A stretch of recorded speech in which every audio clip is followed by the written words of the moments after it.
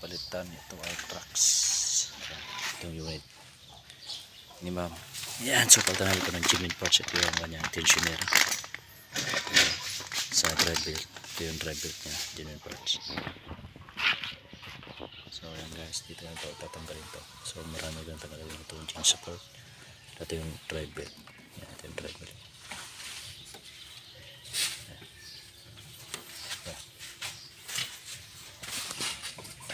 yung guys oh, yung belt tatanggalin to. Ayan. So yan tatanggalin talaga yan. Bago pa. Palitan. Tapos yung tensioner yung tensioner niya. Yan papalitan tensioner. Yan ito assembly yan. Papalitan. May bayaw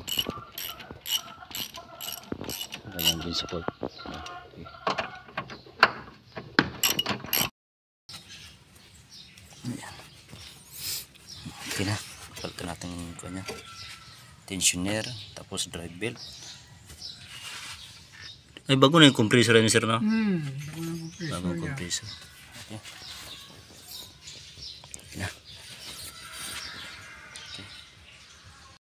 Ayan guys, tapos na. Ang drive belt, tapos kanyang tensioner, yun, no? bago na. So, papandara na namin guys. Ang trucks.